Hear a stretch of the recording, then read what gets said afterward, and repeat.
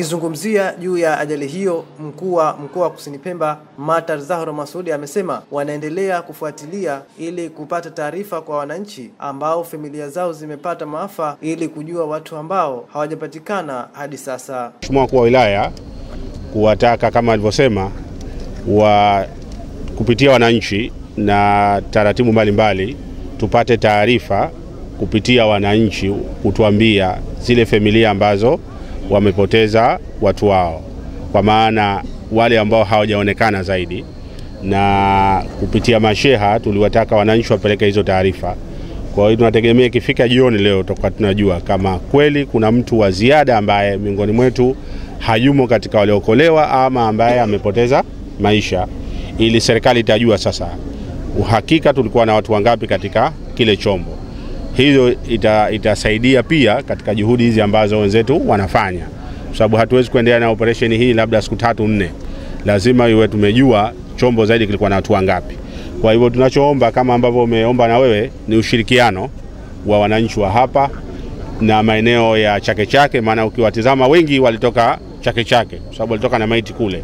Kwa upande wake mbunge wa jimbo la Mtambile Seif Salum Seif na mwakilishi wa jimbo hilo Mohamed Mgazajicha wameeleza juu ya tukio hilo. E, kwa kweli niseme kwamba idadi hasa ya, ya waliokuwemo katika chombo haijajulikana, sababu utaratibu ambao ulikuwepo hapa kusafirisha watu katika kisiwa hichi cha kisiwa Panza ni ilikuwa hakuna hisabu, na inasemekana kwamba boti ilikuwa imebeba watu na hawajulikani kiasi gani. Mambo haya hayakuanza leo tokea zamani kuna vyombo ambao kwa vinapakia watu kwa mujibu wa utaratibu na wanapangiwa kwa mujibu wa taratibu na vinasajiliwa kwa mujibu wa taratibu. Kwa hivyo uingiaji au pengine kukosekana kwa jambo jingine lolote ni jumla ya kukosa taratibu tu, lakini haya mambo yanajulishwa vizuri na wanaambiwa kima fulani cha kuchukua watu, na siku zote wanafika salama na kuweza kurudi salama, lakini kutokea ndio limetokezea tu. Waziri wa Nchi, Ofisi ya Rais, Tawala za Mikoa, Serikali za Mitaa na Idara Maalum za SMZ, Masudi Al Mohamed ametoa mkono wa pole wa familia zilizopatwa na maafa hayo kwa niaba ya Serikali ya Mapinduzi ya Zanzibar. Endelee kuwa wavumilivu katika kipindi hichi kigumu, na awahakikishie na anawahakikishia kwamba Serikali ya Mapinduzi Zanzibar iko pamoja na nyinyi katika kipindi hiki kigumu cha msiba huu.